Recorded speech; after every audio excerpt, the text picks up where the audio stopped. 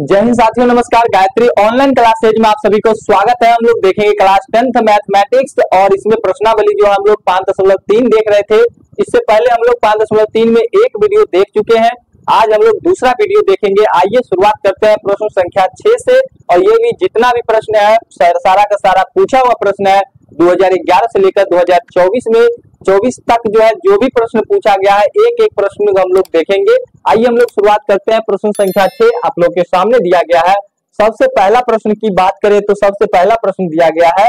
क्या दिया गया है? तो माइनस दस, माइनस छ माइनस दो और दो डॉट डॉट डॉट, चौतीस में पदों की संख्या है। यानी एन आपसे नंबर ऑफ़ एन यानी टर्म ऑफ़ एन पूछा जाता है। आइए हम लोग देखते हैं माइनस दस, ए बराबर कितना? माइनस दस। यानी ए बराबर बात करें तो माइनस दस। और दिया डी बराबर। डी बराबर क्या दिया? तो दूसरा पद माइनस पहला पद। तो दूसरा पद माइनस छ है और माइनस दस। पहला पद क्या है? माइनस दस। तो ऐसे करेंगे माइनस दस। अब कोष्ट खोल लीजिए। माइनस माइनस प्लस दस। क्या होगा? माइनस छ और प्लस दस। यानी चार हो जाएगा डी बराबर। तो डी यहाँ से निकल के आया चार। डी कितना? चार और ए बराबर माइनस दस।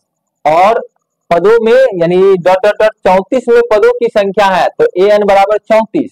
ये भी दे रखा है ए एन ए एन बराबर कितना? चौतीस। आइए हम लोग फॉर्मूला निकाले एन क्या निकालना है? एन बराबर वाट आपसे पूछा गया कितना? नंबर ऑफ़ टर्म कितना है? एन क्या है? तो ए एन बराबर फॉर्मूला क्या होता है?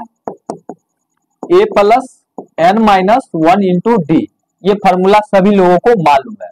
अब यहाँ ए एन तो हमें निकालना है चौतीस, दे रखा। चौतीस बराबर ए ए का मान माइनस दस। तो माइनस दस प्लस एन एन का मान नहीं मालूम। Minus one into D D का मान मालूम है। कितना? चार। आइए देखते हैं ये। माइनस दस इधर आएगा प्लस दस। चौतीस और दस, क्या? चौवालीस हो जाएगा। चौवालीस बराबर। चार से गुना कीजिए, चार एन माइनस कितना?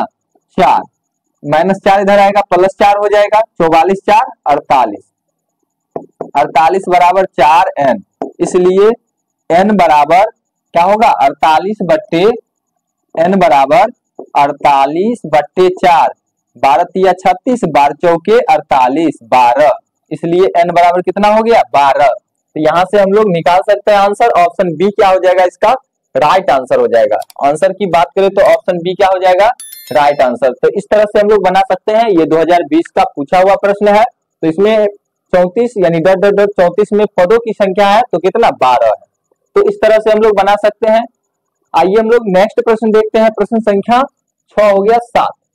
सात कहा, समांतर श्रेणी माइनस यानी समांतर श्रेणी, इसमें क्या कहा आपको? One, four, seven, ten, dot dot dot का कौन सा पद एट्टी एट है, यानी अठासी है। 2020 का ये पूछा हुआ प्रश्न है। आइए इसमें ए दे रखा।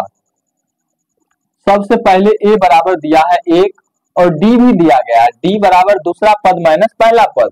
चार माइनस एक, तीन हो जाएगा। डी बराबर तीन और अंतिम पद अठासी दिया है। यानी कितना? ए एन दे रखा है। कितना? अठासी। आपसे क्या निकालना है? तो कौन सा पद अठासी है? यानी ए एन जो है, यानी कौन सा पद अठासी है? तो एन निकालना कौन सा पद? तो एन निकालना है। तो एन बराबर वाट एन निकालना है। फॉर्मूला क्या होता है? ए एन बराबर A plus N minus one into D ये फॉर्मूला होता है। सभी लोगों को मालूम होगा। अब यहाँ हम बात करें ए एन की मान। तो अठासी दे रखा है। अठासी बराबर ए प्लस ए का मान एक। यहाँ से एक। तो एक प्लस एन का मान नहीं मालूम है। Minus one into D D का मान तीन है। तीन। अब यहाँ से क्या हो जाएगा? एक प्लस में है, इधर आएगा माइनस हो जाएगा, अठासी माइनस एक, सतासी हो जाएगा, बराबर। अब क्या होगा? एन तीन से गुना करेंगे, तीन एन माइनस थ्री बराबर माइनस थ्री हो जाएगा। अब माइनस तीन इधर आएगा प्लस तीन, सतासी तीन, नब्बे नब्बे बराबर थ्री एन तो एन बराबर क्या होगा? ये तीन गुना, इधर आएगा भाग में, नब्बे बट्टे तीन, तीस तिया, यानी तीन तिया नौ, तीस हो जाएगा। इसलिए n बराबर तीस। इसलिए क्या होगा? n बराबर क्या हो जाएगा? तीस। तो इस तरह से हम लोग बना सकते हैं, यानी तीस हो जाएगा। तो आपका राइट आंसर जो है क्या होना चाहिए? ऑप्शन जो है सी होनी चाहिए। ऑप्शन सी क्या हो जाएगा? राइट आंसर आइए देखते हैं हम लोग ऑप्शन सी क्या हो जाएगा? राइट आंसर तो इस तरह से हम लोग बना सकते हैं। तो जिन लोगों को राइट डाउन करना है साथ साथ राइट डाउन करते चलिए। आइए नेक्स्ट प्रश्न की ओर हम लोग बढ़ेंगे। सात हो गया आठ।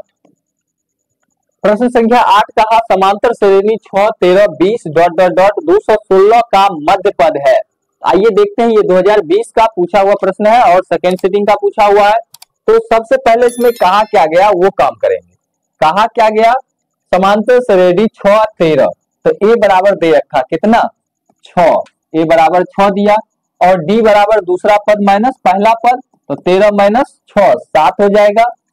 अब यहाँ से अंतिम पद दिया। कितना? दो सौ सोलह। ए एन बराबर दो सौ सोलह।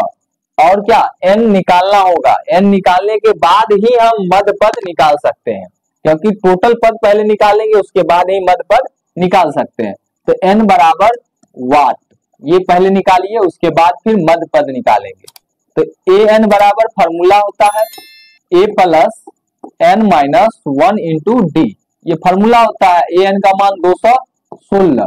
दो सौ सोलह बराबर ए ए का मान यहाँ से सिक्स है प्लस एन एन मालूम नहीं है minus one into D D का मान यहाँ से सात। सात ले लेंगे। अब यहाँ से छह प्लस में, इधर आएगा माइनस में कितना? दो सौ दस हो जाएगा। बराबर। ये सात से गुना करेंगे, सात एन माइनस सात। अब देखेंगे ये माइनस सात इधर आएगा प्लस सात हो जाएगा दो सौ सत्रह। और यहाँ से सेवन एन सात गुना इधर आएगा भाग में एन बराबर क्या होगा? दो सौ सत्रह बट्टे सात। अब सात से काटिए। कितना? सात इकाई सातिया इक्कीस। सातिया इक्कीस और सात इकाई, सात। इसलिए एन बराबर इकतीस। जब विषम संख्या, जब देखते होंगे, आप लोग माद निकालते होंगे, जब विषम संख्या आता है तो क्या करते हैं? एन बराबर अगर विषम संख्या हो तो N plus one by two उसी प्रकार से एन का मान कितना आया? इकतीस आया इकतीस जब आया तो यहाँ हम कर सकते हैं एन यानी मध्य पद क्या होगा? मध्य पद मध्य पद। बराबर क्या होगा? इकतीस प्लस वन बट्टे टू कितना? बत्तीस बटे टू हो जाएगा, यानी सोलह। कितना हो जाएगा? सोलह। तो सोलहवा पद क्या होगा? सोलहवा पद तो निकालना होगा। तो सोलहवा पद के लिए क्या होगा? इसी तरह ए एन बराबर A plus N minus one into D तो सोलहवा पद होता है ए प्लस पंद्रह डी ऐसे भी हम लोग निकाल सकते हैं। ए का मान कितना? छ और प्लस पंद्रह गुने डी डी का मान निकला था सात। सात, अब इसको जोड़ लीजिए। पंद्रह पैंतालीस, पंद्रह चौके साठ पंद्रह पच्चीस पचहत्तर और पंद्रह छठ नब्बे, पंद्रह सात, एक सौ पाँच और छ छ पाँच, ग्यारह, यानी कितना? एक सौ ग्यारह हो जाएगा। यानी छ प्लस एक सौ पाँच बराबर एक सौ ग्यारह। ऑप्शन सी क्या हो जाएगा? Right answer. ऑप्शन सी क्या हो जाएगा? Right answer. तो इस तरह हम लोग बना सकते हैं। ये आपका आठवां प्रश्न हुआ। जिन लोगों को राइट डाउन करना है। साथ साथ राइट डाउन करते चलिए। आइए नेक्स्ट हम लोग नम्मा प्रश्न देखेंगे। नंबर प्रश्न है, समांतर श्रेणी के दो सात बारह सत्रह डॉट डॉट डॉट के ए तीस। यानी यहाँ पे आपको ऐसा कहा गया। आइए ये कहा गया यहाँ ए तीस माइनस ए बीस। का मान क्या होगा? यानी ऐसा कहा गया। आपको ऐसा बताया गया। आइए देखते हैं। सबसे पहले ए दिया गया। कितना? दो और डी भी दिया गया। ए बराबर दो और डी बराबर दूसरा पद माइनस पहला पद, सात माइनस दो, यानी कितना? पाँच। ये हो गया। उसके बाद इसमें ए तीस। ए तीस का मतलब क्या? ए तीस। ए तीस का मतलब है ए प्लस उन्तीस डी उन्तीस डी और ए बीस का मतलब क्या है? ए बीस का मतलब है ए प्लस कितना डी उन्नीस डी कितना? उन्नीस डी ऐसा दिया गया है। अब कहा ए तीस माइनस ए बीस, यानी ए तीस माइनस ए बीस। इसका मतलब क्या हुआ? इसका मतलब ये हुआ ए तीस का मान ये ए प्लस कितना? उन्तीस डी ए प्लस उन्तीस डी ए प्लस उन्तीस डी माइनस और इसका मान ए प्लस उन्नीस डी ए प्लस उन्नीस डी अब कोष्ट खोल लीजिए। ए प्लस उन्तीस डी उन्तीस D minus A plus minus minus उन्नीस डी अब यहाँ से माइनस ए प्लस ए खत्म, उन्तीस में से उन्नीस घटा लीजिए, दस।